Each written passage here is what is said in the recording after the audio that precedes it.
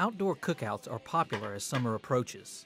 Consumers can expect to pay more for beef, poultry, and pork because supplies are tight, according to LSU Ag Center economist Ross Pruitt.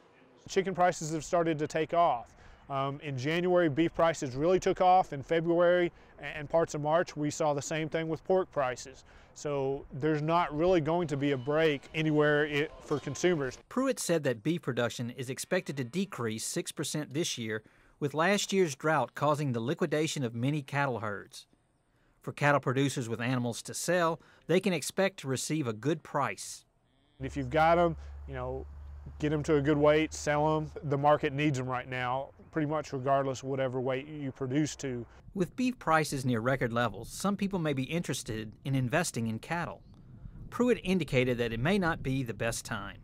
I don't know if it's necessarily the worst time, but when you think about the land prices, uh, combined with you know whatever equipment, fencing, combined with you know the price of cattle, it's going to be difficult. Ag Center researchers are conducting forage studies to determine the most economical way to feed newly weaned cattle to facilitate weight gain.